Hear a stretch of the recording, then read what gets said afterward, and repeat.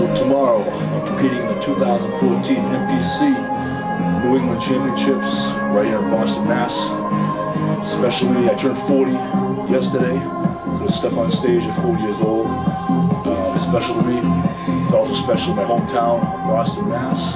Got a lot of friends going. I know of competitors, I know Jay Cutler is going to be there as well. So, um, you know, win, lose, or draw.